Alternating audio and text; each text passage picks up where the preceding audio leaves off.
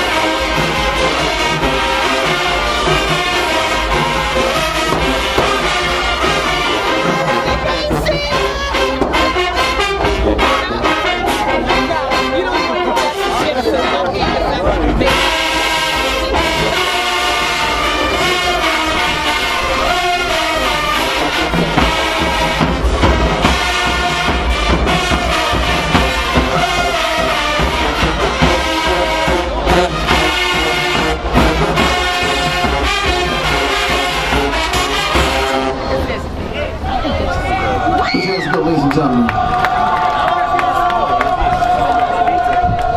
right, New Orleans.